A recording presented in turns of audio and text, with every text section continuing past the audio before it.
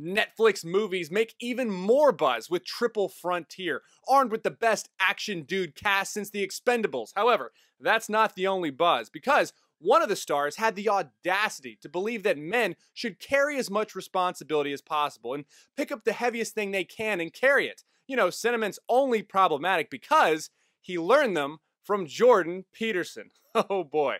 I'm Ben Davies. This is Pure Hollywood.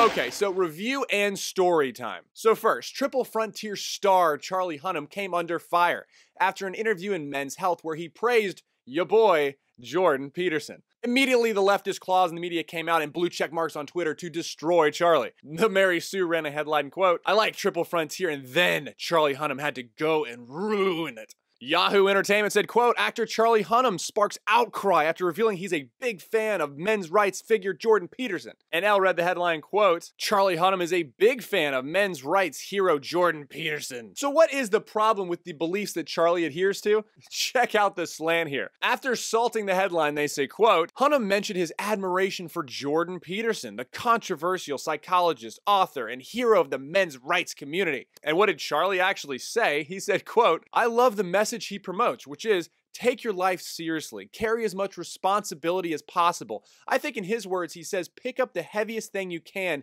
and carry it. He went on to liken Peterson's mentality to those of special force guys. Quotes, in this day and age, everyone's grown soft and entitled, Hunnam said. It's like, no guys, you're not entitled to anything, unquote. Well, gee whiz, that sounds like the worst activism hero ever, right? I mean, does that even sound remotely controversial? Just imagine if a fan of a woman's rights hero told other women to get over yourselves, take responsibility, and carry the heavy burden.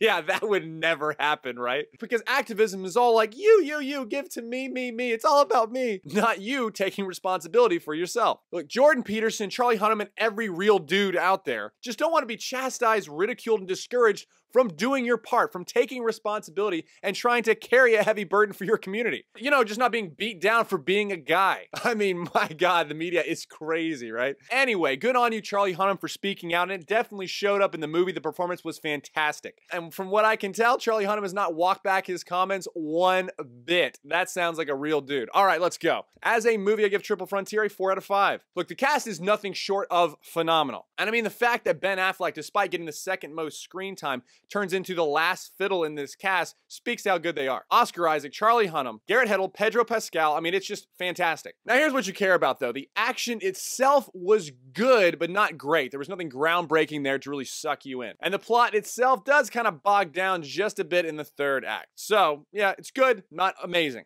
and my critic review is a 4 out of 5. This really was beautifully shot, and the landscape fit the story like a glove. The way they shot it, you really feel like you're along for the ride here, experiencing this whole mission that just falls apart and becomes worse and worse. It really is like a simple plan meets the expendables or something like that. I also really enjoyed the symbolism and the moments of focus that are strung out throughout the film, particularly when the kid comes back from church and sees the men who killed his father, thus cementing the cycle of violence to continue because of the mistakes. My faith and values is a 3 out of 5. Now, there was nothing outspoken religiously in this film. However, the message here is actually pretty clear. It is better to live hard as a good man than to die a compromised one. The millions, the luxury that's just there at their fingertips turns into nothing more than shame and a literal burden after their specific actions that taint any joy that could have possibly come from this reward. Greed, envy, and anger are the devil's cocaine. And even good, great men can lose control and be faced with a life of regret.